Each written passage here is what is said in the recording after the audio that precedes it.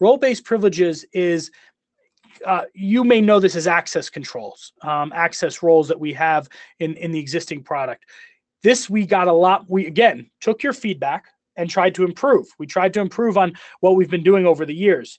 So what you're going to see here is, um, I think, a pretty straightforward builder for a role. So you say this is a help desk role, um, help desk, and now I'm going to come in here and say, you know, for directory management, I want to give uh, create and not not delete. I'm going to do create, edit, and view access for my users.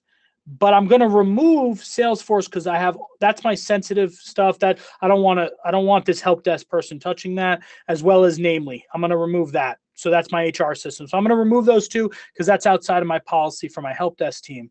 Um, and then for groups, I'm going to do the same thing. I'll probably do full access for everything, again, except for Namely and Salesforce. And then you could keep doing this, right? You could do it for files, but I'm going to leave files off right now. I'm going to leave workflows off. Now, I go down here, I assign the role to someone. So I'm going to assign it to me. And then now I'm going to show you what it looks like when I log in as this help desk user, David Politis. I log in as David Politis. What you notice on the left side is the nav is is is only has directory. That's it.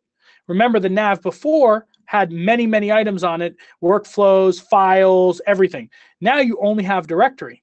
Even more interesting when I click on a user, if you remember before, this user had a Salesforce account, a Namely account, and now you don't see that anymore. Same thing, I go to memberships, you're not going to see Salesforce and Namely because those have been removed from this role. Um, also, if you select a user and you're a super administrator, you have delete access. But now, because I didn't delegate out delete access, that user's not going to have that.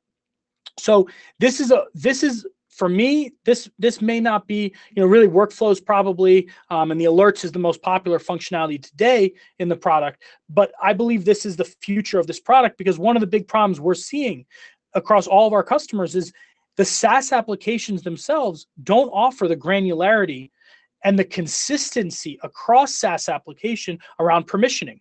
Most have uh, admin, super admin, admin, and end user.